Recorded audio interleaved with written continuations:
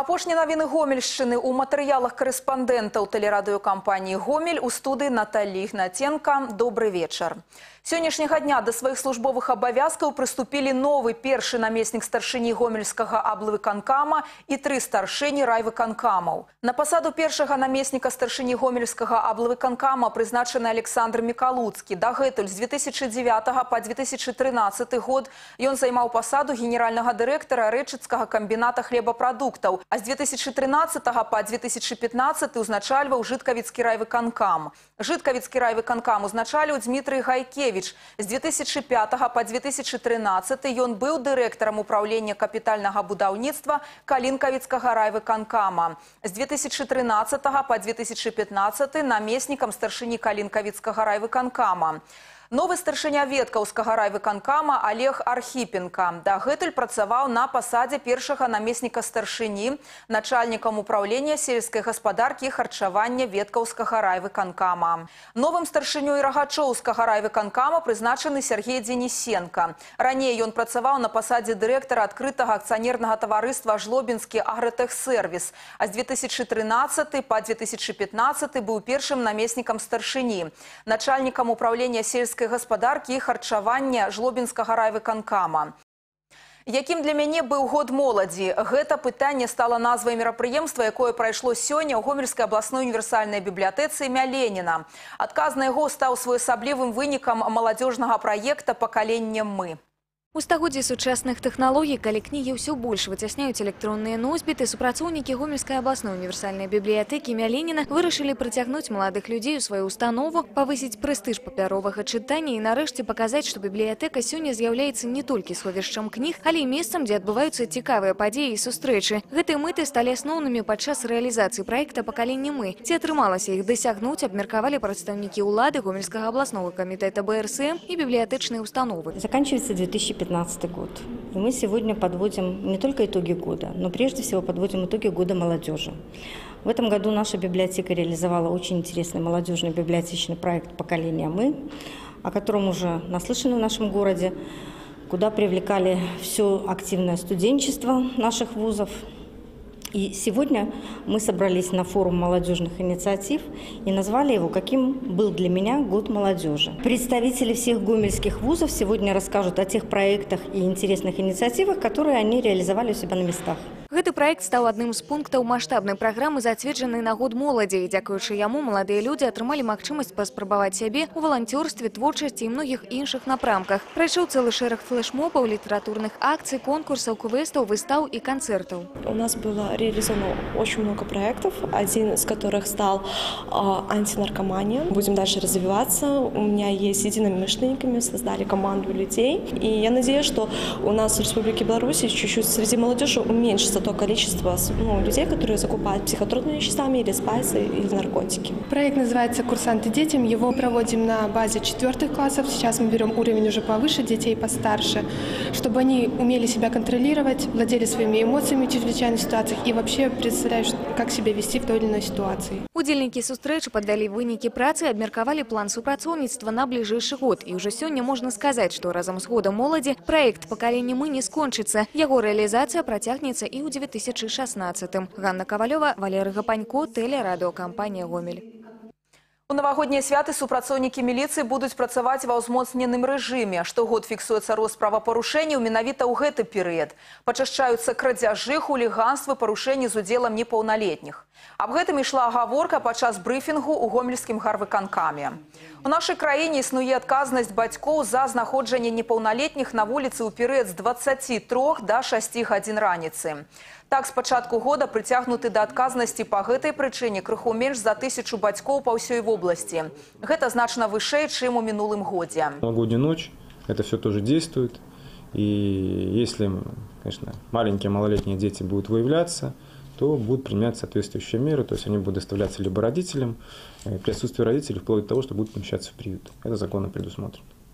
З пачатку года ў краіне загінулі 12 дзяцей пры пажарах, з якіх 10 ва ўзросце да 6 гадоў. 9 дзяцей атрымалі траўмы пасля няправільнага выкарыстання піратэхнікі. Определенным образом э, установить устойчиво э, топеротехническое изделие. Если она вдруг не сработала, не надо к ней подбегать и пытаться дальше зажечь. В соответствии с инструкцией его нужно утилизировать.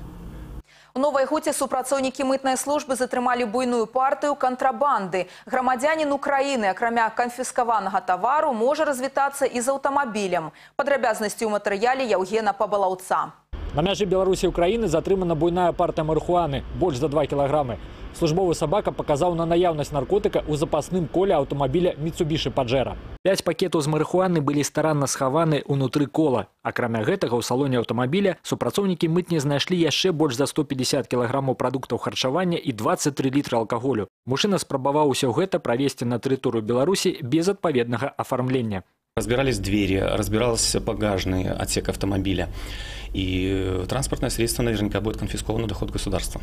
Грамадзянін Украіны 15 гадоў пражывае ў мінску, дзе працуе на рынку ў ждановічах. Паездкі з малой радзімы да месца пражывання адбываліся час ад часу. Але зараз здаецца, што мужчына пайшоў у своеасаблівы ва-банк, за што і атрымае пакаранне на кшталт героя знакамітага польскага фильма. По данному факту возбуждено уголовное дело по части 2 статьи 228 Уголовного кодекса Республики Беларусь. Санкция данной статьи предусмотрена наказание в виде лишения свободы на срок от 3 до 7 лет с конфискацией либо без конфискации имущества. Евген Пабалавец, Игорь Марышенко, телерадокомпания «Гомель».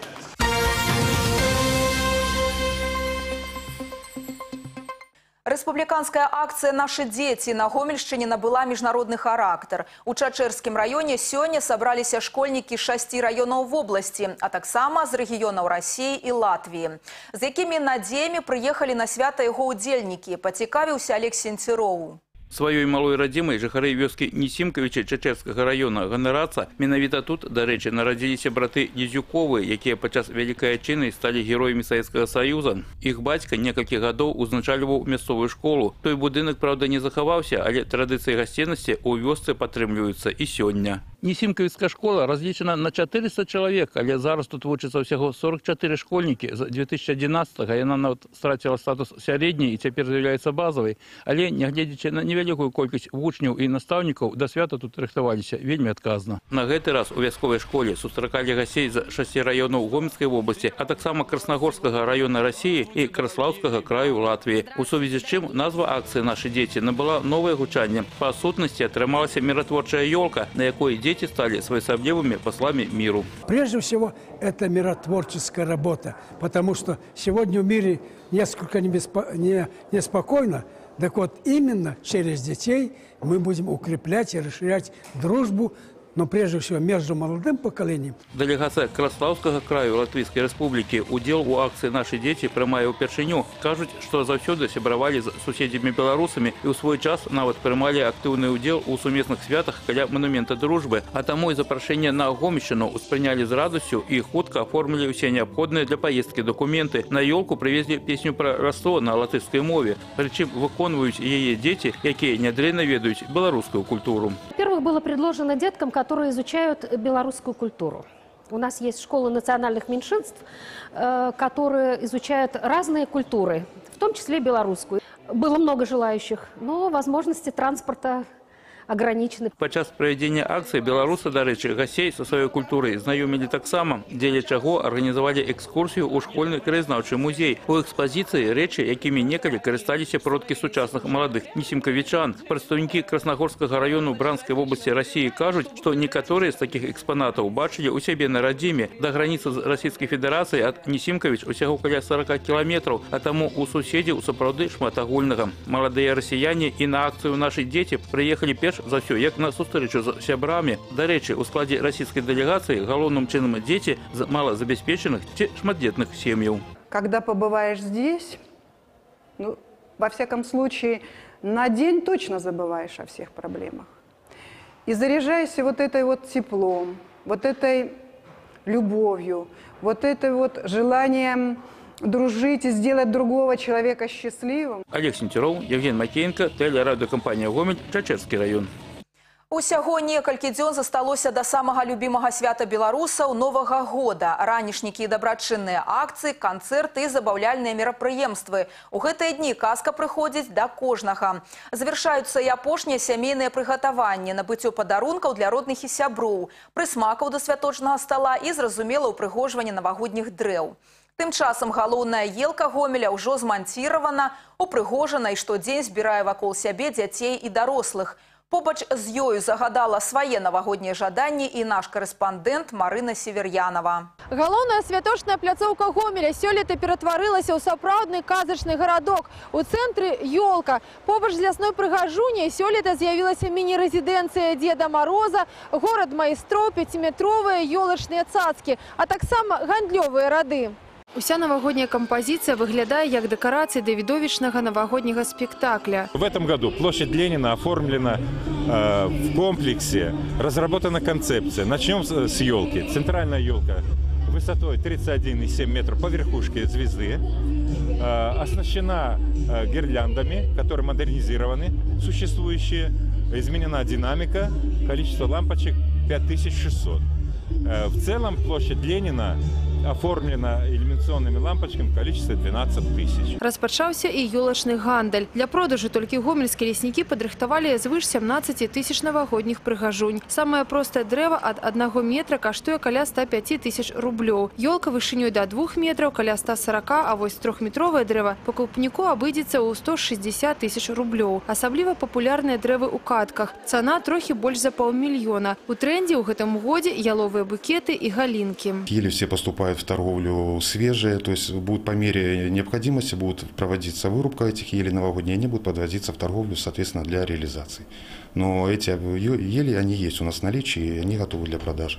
Магазины таксама падрыхтаваліся да новага года. Не толькі ўпрыгожылі вітрыны і гандлёвыя залы, але арганізавалі скидкі і акцыі. Некаторыя товары можно набыць за паўцаны. Будут также привлекаться производители совместно с торговыми предприятиями по проведению э, новогодних э, скидочных мероприятий, плюс акции всевозможных э, рекламных мероприятий, промо-акции и игры акционные. Для аматараў сустракаць Новы год актыўна і творча арганізатары святаў придумали нават асаблівую программу. В этом году э, были придуманы различные креативные мастер-классы. Можно прийти научиться печь э, пирог какой-то особенный новогодний или торт. Можно сделать какую-нибудь 3D-снежинку. Можно придумать и сделать из каких-нибудь подсобных э, вещей обезьянку. І яшчэ ў кожным раёне Гомельскай вобласці адкрылася свая рэзідэнцыя Деда Мороза. Таму ўсе святочныя пажаданні абавязкова здзейсняцца ў новым 2016 годзе. Марына Север'янова, Дмітрий Радзянка, тэлерадыёкампанія Гомель. На гэтым выпуск завершаны. У студыі працавала Наталья Ігнаценка. Усяго вам добрага і да новых сустрэч у эфіры.